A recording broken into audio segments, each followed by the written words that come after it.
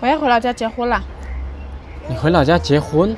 嗯，你不是我女朋友吗？你跟谁结啊？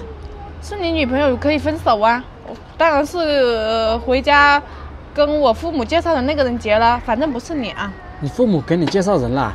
啊，介绍个有钱的。不是，他们都知道我们在谈恋爱呀、怎么就给你介绍人啦？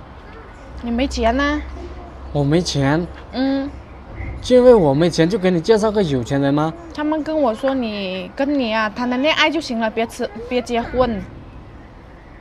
可是我们都这么多年了，是吧？我我觉得你再等一等我呀，我再过几年就有钱了。要等到什么时候？我我也跟你几年了呀，还不是这样？你看不出来我在积极的努力的拼搏吗？努力也没用啊！我看你努力还不是照样穷。不是你这个，你这回去跟有钱人，嗯你跟人家都没有爱情啊，是吧？你们都没有谈过恋爱呢。有钱就行。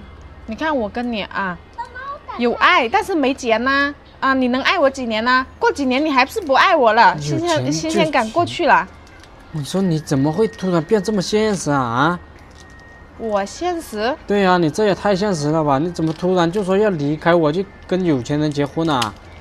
我们自己没钱了，我也给你机会了呀。我都跟你在一起几年了，还这样子穷。我们可是男女朋友啊！我之前我们都挺恩爱的呀，是吧？你也很喜欢我，我也很喜欢你啊。男女朋友可以分手的嘛？可以分手你，难道你不追求爱情吗？你这个啊，爱情能能能有多久啊？啊，还不是一两年就不爱了？那人家有钱，那人家给你用多久啊？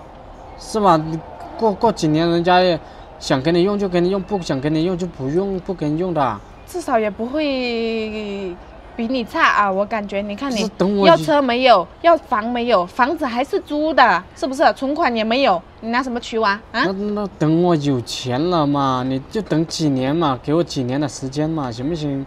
我等不了了，我也老大不小了，现在就适合结婚。我知道你适合结婚，但是我觉得你应该要多为自己着想，为自己的幸福、爱情着想一点啊。我想得很清楚啊，这是人生大事。可是你这，我跟你说，我看到好多人啊，选择爱情，最后爱也没有，钱也没有，没用。我说，哦，所以我说找，啊、找结婚的就要找有钱的。结婚要找有钱的呀？我要去收拾东西了，我要回老家了，不要啊，你要分手啊！